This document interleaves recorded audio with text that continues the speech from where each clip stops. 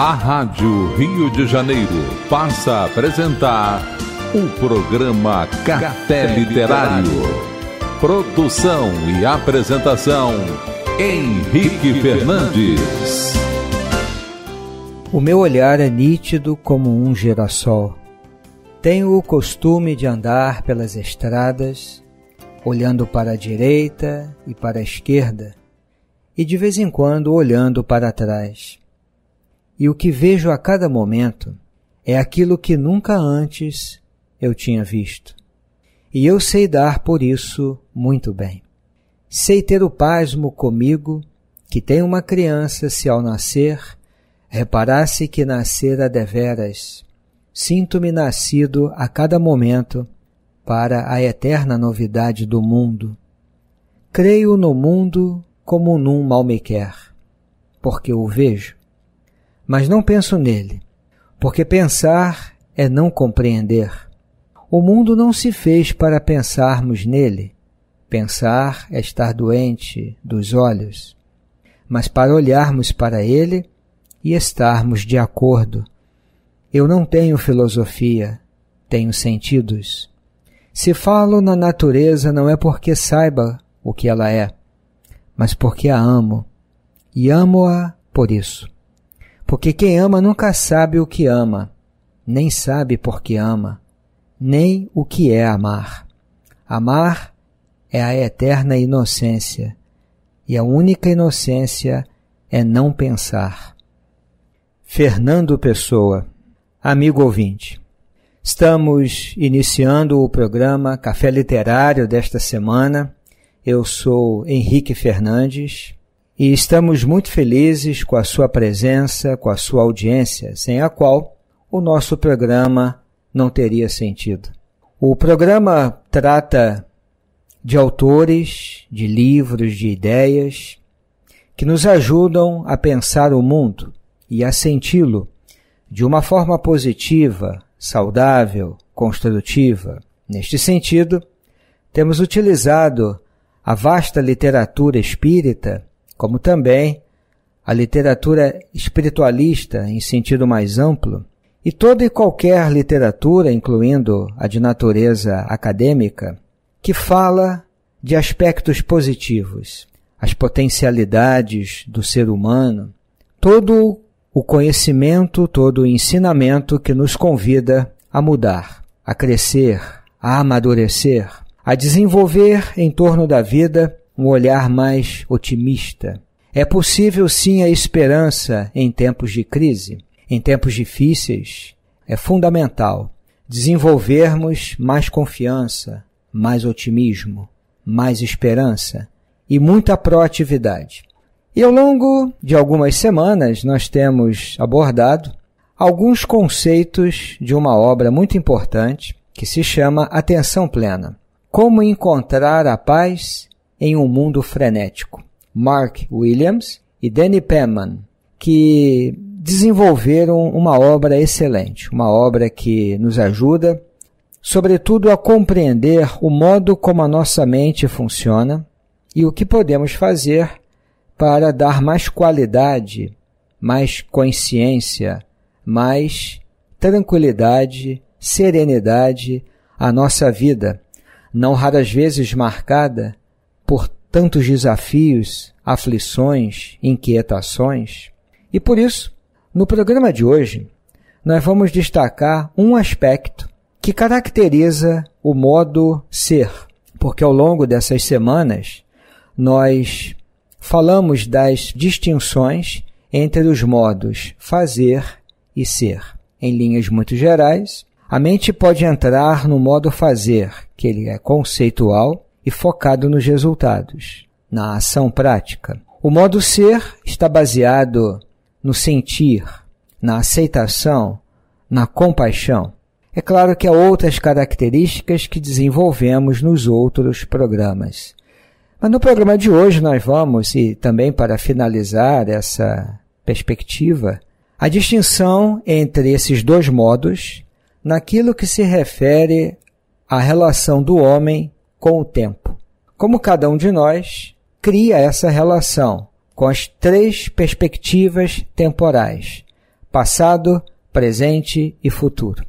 Isso vai impactar de forma direta o nosso estado emocional, a nossa relação com a vida e até mesmo a relação com as pessoas com as quais nós interagimos. Nós prestamos atenção ao que acontece na nossa vida no momento em que acontece, portanto, com outras palavras, nós vivemos com uma atenção plena ao presente, ou a nossa mente viaja no tempo em busca das experiências do passado, ou nos perdemos numa viagem para o amanhã, o futuro, antecipando acontecimentos trágicos, catastróficos, e então entramos em ansiedade, em desespero, em aflição.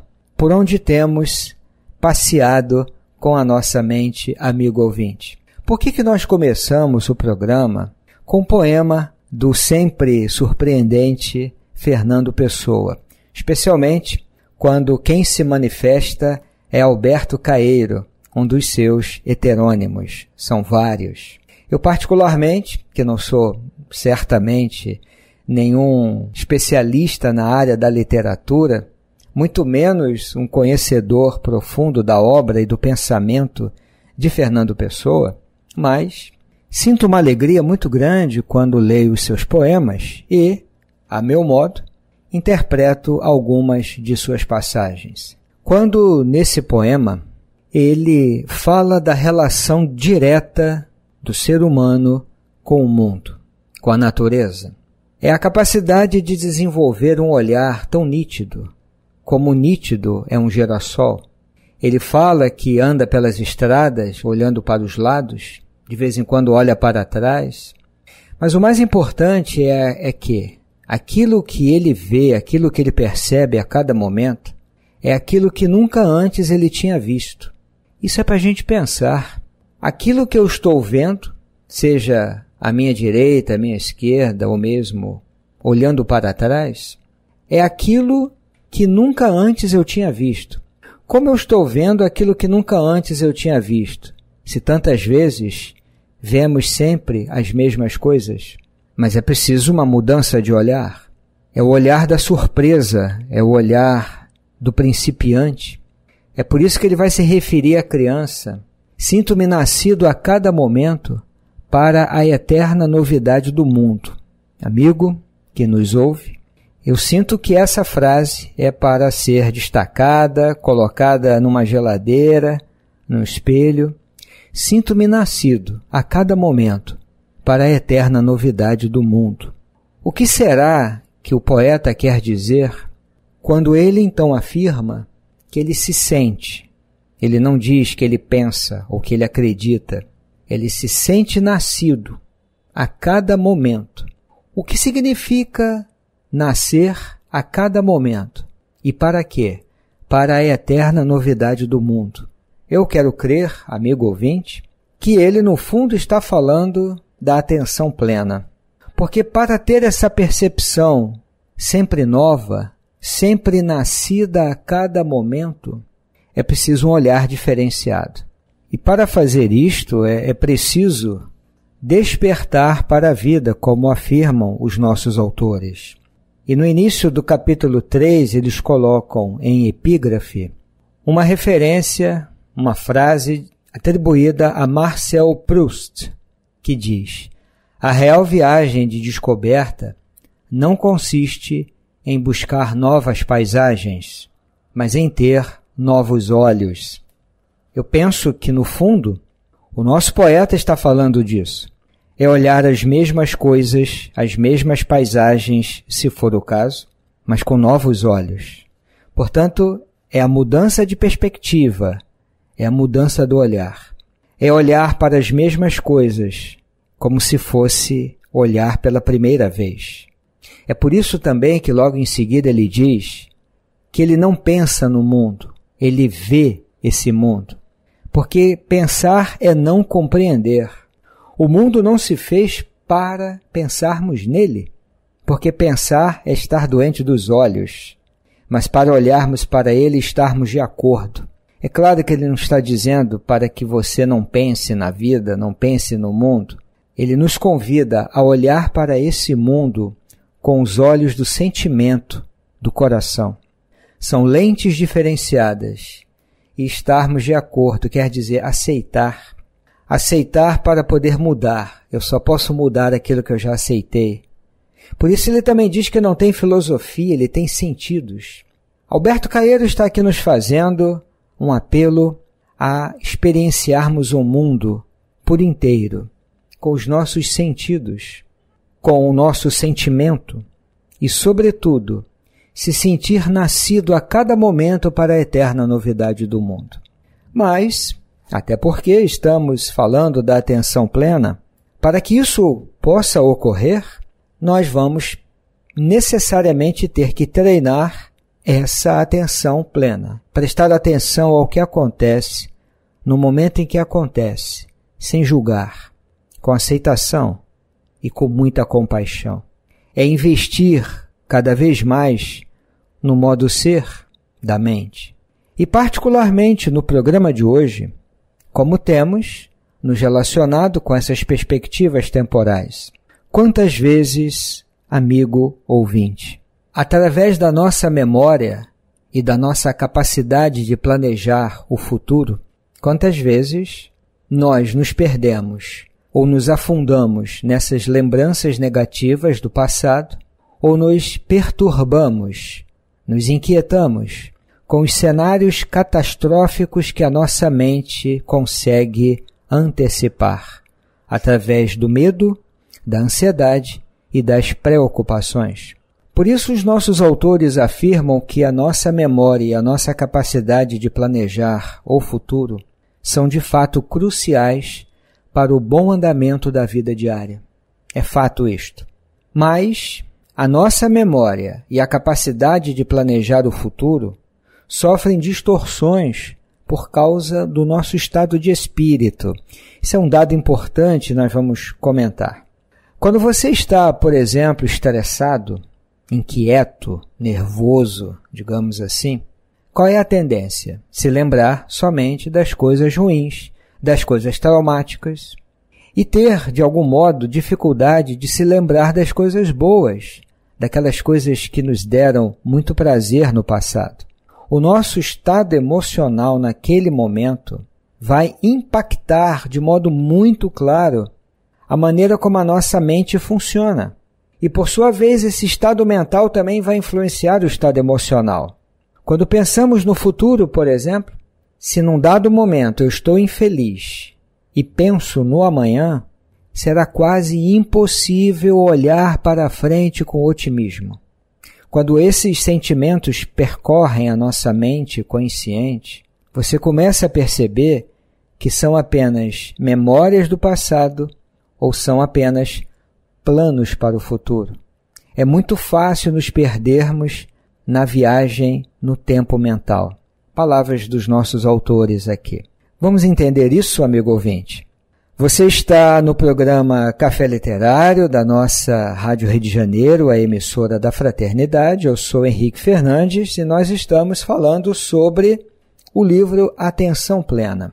Como encontrar a paz em um mundo frenético de Mark Williams e Danny Penman, naquilo que se refere à nossa relação com o tempo. A pergunta que precisa ser colocada é qual? Quanto tempo da minha vida eu permaneço no passado e qual é a vantagem disso? Quanto tempo da minha vida eu permaneço com a mente ancorada no amanhã e qual é a vantagem disso? e quanto tempo eu permaneço presente ao que acontece. A resposta, amigo ouvinte, não, não necessita de nenhuma pesquisa acadêmica, apesar de termos muitas nesse sentido. São pesquisas bem fundamentadas na área da psicologia clínica, dialogando perfeitamente com as neurociências, mas você sabe, pela sua experiência e eu sei pela minha, quais são as consequências sobre o nosso estado emocional de permanecermos fixados no passado. Da mesma forma, conhecemos as consequências do fato da nossa mente viajar em direção ao futuro com muita frequência. Normalmente, quando pensamos no passado, resgatamos as coisas ruins. Eu quero dizer as coisas tristes. Vamos dar um exemplo disso? Quais são as emoções que nos prendem ao passado? São várias. Uma delas é a culpa. A culpa tem um tom de pretérito, sempre. Ninguém se culpa por uma coisa que ainda vai acontecer. Então, quando nós guardamos o sentimento de culpa, o arrependimento, o remorso, a nossa mente volta para o passado. E nós normalmente dizemos assim: Eu me arrependo muito do que eu fiz. O que eu fiz não deveria ter feito. E o que eu deixei de fazer eu deveria ter feito. E não paramos aí, porque a mente não é a nossa melhor amiga, dizem esses estudos. A mente começa a julgar. Mas você deveria ter feito, afinal de contas, você tem muito conhecimento. Ou então, mas você realmente é muito incompetente. Como é que você não foi capaz de dar conta disso no passado? Como que não? Todo mundo consegue, menos você. Isso é uma frase típica que brota do interior da dinâmica da nossa mente e nós acreditamos nesse pensamento. Ficamos presos ao passado e vem um sentimento de culpa terrível que pode dar a ilusão de que eu estou pagando essa dívida moralmente falando mas é só uma ilusão, porque a culpa não resolve nenhum nó, nenhum problema. A culpa só nos dá a ilusão, quando dá, de que alguma coisa está sendo paga neste sentido. Um outro sentimento que me prende ao passado é a mágoa. Aliás, a mágoa tem uma característica bem curiosa, ela tem duas características, se é que nós podemos falar assim. Primeiro, ela é cinematográfica, porque eu lembro dos detalhes dolorosos do passado nos mínimos detalhes, como se eu estivesse vendo numa tela diante dos meus olhos. Por isso, ela é cinematográfica. Eu lembro nos mínimos detalhes, porque se não lembrar nos mínimos detalhes não é mágoa, é outro sentimento. E além disso, a mágoa ela é atemporal, quer dizer, ela não depende do tempo. Pode ter passado uma semana porque mágoa precisa de um tempo, um tempo razoável, senão é raiva. Então o indivíduo vivencia aquela cena ou aquelas cenas dolorosas, traumáticas de traição, de mentira, de calúnia, de injustiça. Ele lembra nos mínimos detalhes, já falamos, e lembra como se fosse ontem. Parece que o tempo não passa. Isso é mágoa. Então ela é cinematográfica e atemporal. E traz uma dor, um sofrimento muito grande. E quais são os sentimentos que nos prendem ao amanhã? Já comentamos aqui de algum modo. O medo, a dúvida, mas sobretudo a ansiedade. A ansiedade é campeã nesse sentido. E nós entramos nessa viagem mental, entramos numa espécie de nave e nos colocamos na terra do amanhã, como se essa terra existisse de fato e pudesse ser localizada no Google Maps, e ficamos lá. Eu já sei no que isso vai dar. A mente descreve também nos mínimos detalhes como vai ser, e é sempre tudo catastrófico, é sempre tudo muito difícil. Sobretudo um pai ou uma mãe, quando pensa no futuro do filho, aí vê a crise dos nossos dias, as dificuldades, os obstáculos, os cenários políticos, econômicos, ela entra em desespero a pessoa, porque já vê o filho desempregado, passando necessidade. Então ele aumenta a sua carga de trabalho no hoje para deixar alguma reserva para o filho. E muitas vezes a gente conduz a nossa vida dessa forma, projetando um cenário doloroso e ao mesmo tempo criando todo um esquema de vida no aqui e agora, estressante, angustiante de desespero para evitar a tragédia final. Nós temos essa crença. Isso é a mente funcionando, amigo ouvinte. Você não tem culpa disso e nem eu. Nós fomos treinados pelo processo evolutivo das espécies para que a nossa mente se tornasse altamente especializada em detectar riscos, perigos e ameaças. Ainda vamos levar muito tempo para a mente se inclinar naturalmente para o otimismo, a confiança, a esperança e a fé.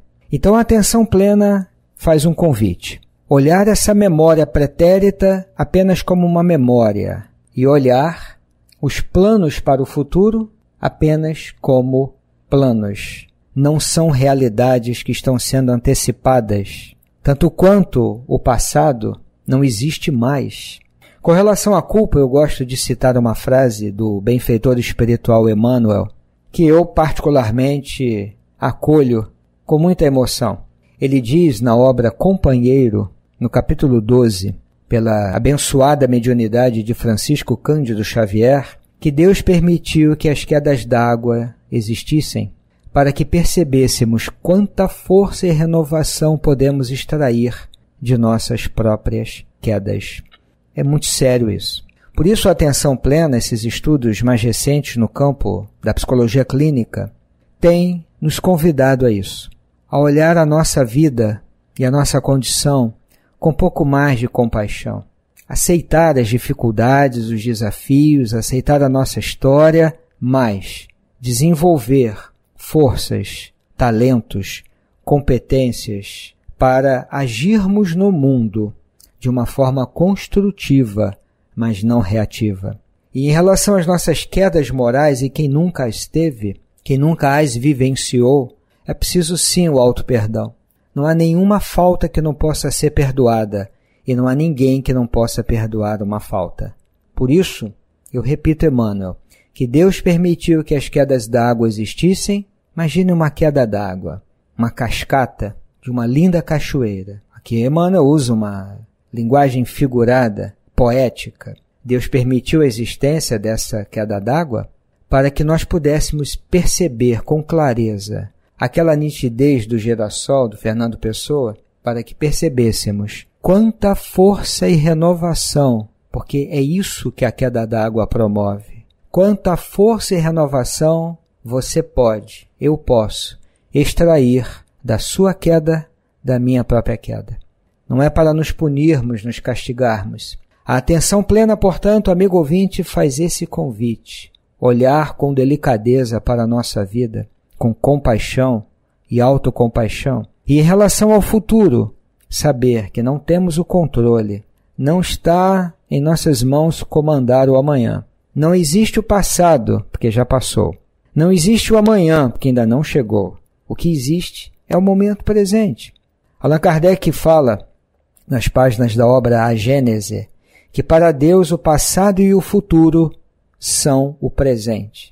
Porque não existe, de fato, o tempo pretérito e o tempo do futuro. Existe o aqui e agora. Isso não é uma visão imediatista, é uma visão de aceitação do tempo presente, que é o nosso grande laboratório, o nosso cadinho para tratarmos os elementos nessa química poderosa e dar à nossa vida um sentido, um propósito, uma dinâmica inteiramente nova. Eu encerro fazendo uma pequena referência a um grande escritor, filósofo, poeta norte-americano que viveu no século XIX, Emerson. Um dia ele fez um texto tomando como referência as rosas, e ele disse assim: Aquelas rosas debaixo da minha janela não fazem referência a rosas anteriores, nem a melhores rosas. São o que são. Existem com Deus hoje. Não há tempo para elas. Há, simplesmente, a rosa. Ela é perfeita em cada momento da sua existência Antes do broto de folha surgir, sua vida como um todo atuava. Na flor que desabrochou, não há nada a mais. Na raiz sem folhas, nada há de menos. Sua natureza é suficiente e satisfaz a natureza em todos os momentos semelhantes. Não há tempo para ela, mas o homem adia ou recorda. Não vive no presente. Mas com olhos revertidos no tempo, lamenta o passado, ou, sem dar atenção às riquezas que o cercam, fica na ponta dos pés para prever o futuro. Não pode ser feliz e forte enquanto não viver também com a natureza no presente, acima do tempo. É para refletirmos, querido amigo que nos ouve. Aqui nos despedimos desejando a você muita paz Segue o WhatsApp do programa para as suas mensagens. 21 98815 1965. Até breve! A Rádio Rio de Janeiro apresentou o programa Café Literário. Produção e apresentação Henrique Fernandes.